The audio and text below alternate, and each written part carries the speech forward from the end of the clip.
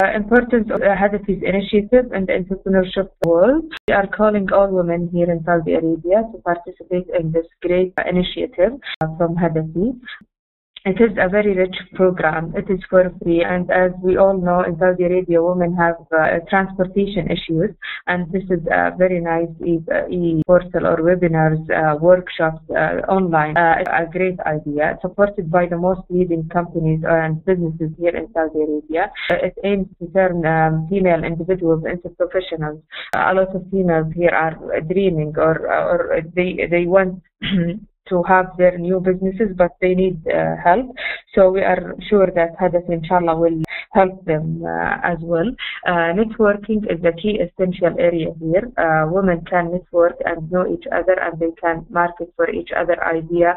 They can have connections with, with each other, market each other's idea, and they can have consultation, on-spot consultations as well. It is an inspirational program and inshallah it will witness the initiation of the new businesses here in Saudi Arabia and to expand